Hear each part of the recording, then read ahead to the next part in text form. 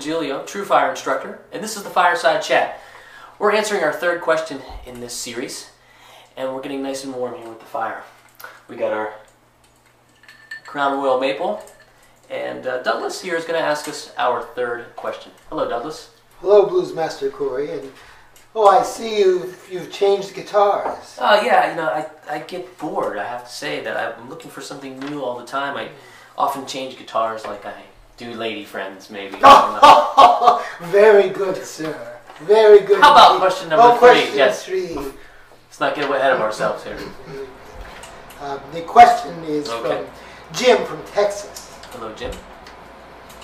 He says uh, that he still loves your newest blues rhythms course, and of course he looks forward eagerly for this new Texas blues Mm, it's going to be a good one. I am from Texas after all, and my question is how can we consistently play lower register licks and riffs, bass strings, sixth, five, fourth, or open licks that would sound cool and stand out but won't interfere with the bass player? This obviously would be cool to learn against one of your nice Texas style 12 bar rhythm progressions, but also against some of your funky progressions, played in the higher register chords, almost like a complementary riff, and keeps the chord riff in balance. Oh, I think I understand where you're headed, Jim. Well, thanks for asking. Uh, it's a challenging question to, to answer because let me say that I like to focus on guitar solos um, often with the inside four strings being the fifth through the second. I find that the voice of the instrument speaks well there, and I find myself playing there often. However, if you're talking about more maybe like a that kind of idea, uh, you have a lot of nice real estate with open strings if you're in the key of E. All that kind of like great Stevie Ray Vaughan type of stuff. Um, but if you're referring to some of the other higher stuff, maybe you're playing like a, a riff like um,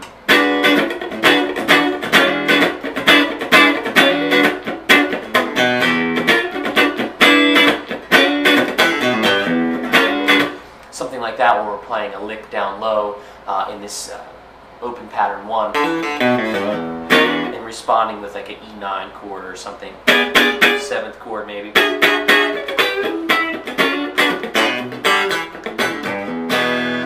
I would keep your mind open to how they can sort of bounce off off of one another back and forth. Um, it's a little, like I said, challenging question to ask because so much of my uh, spontaneous soloing happens just like that. It's completely improvised, it's spontaneous, and I try to play what I hear um, and what I've learned. Uh, so I think you also answered the question yourself a little bit. Ooh, the fire's getting noisy. Um, where we're kind of calling and response.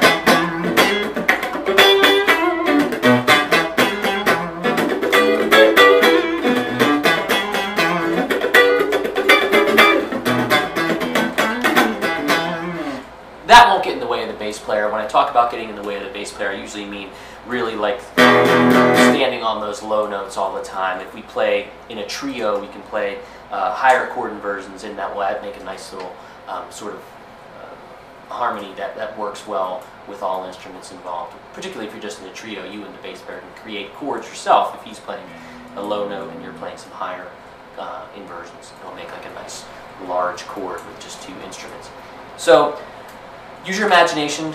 Take some of those little examples that I just sort of uh, uh, showed you right there about how you can sort of do the call and response thing. Um, but there's no rules, so if it sounds good, do it. That's all I would say. Okay, so thanks so much for that question. Hopefully it was helpful, um, and we'll move on to the fourth question just when uh, Doug gets back from doing the laundry or parking my car or whatever. So uh, stick around. We'll answer another one.